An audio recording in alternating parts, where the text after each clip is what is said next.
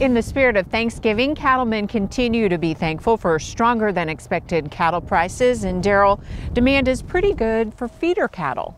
It has been very good this fall for feeder cattle. Uh, feedlot demand for the bigger feeder cattle has been strong all fall. Those prices have been uh, strong. Calf prices uh, didn't drop very much this fall seasonally.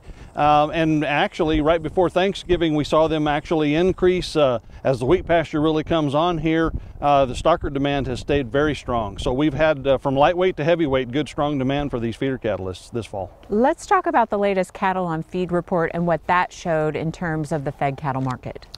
You know, we for, for the last two or three months, it's been pretty consistent. We've placed a lot of cattle. Placements were up over 10% in this latest cattle on feed report, and that was a little bigger than expected. Um, the marketings were still pretty good, uh, you know, 5.6% or thereabout, and so the on feed total is up over 6% over a year ago. Uh, so we're building those feedlot inventories, but uh, basically, you know, we've got more cattle in the country and we're, we're seeing them move through the system now, but we're doing a pretty good job of keeping up with them on the marketing side as well as placing more cattle. Let's talk about box beef now. That's kind of dropped off a little bit. Has that changed significantly?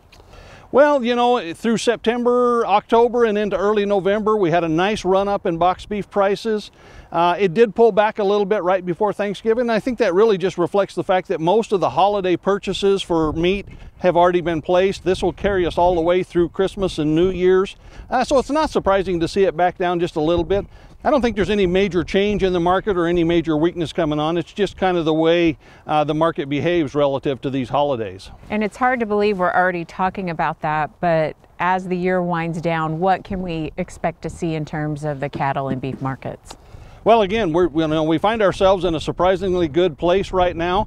You know, for the most part, we're going to just kind of um, mark time to finish out the year. I don't expect any major changes um, as we go through the rest of the year. So we've got fed cattle markets, feeder cattle markets in pretty good shape. Box beef is holding well. Retail prices in October, which is the latest data that we have, were holding steady or actually slightly higher than a year ago.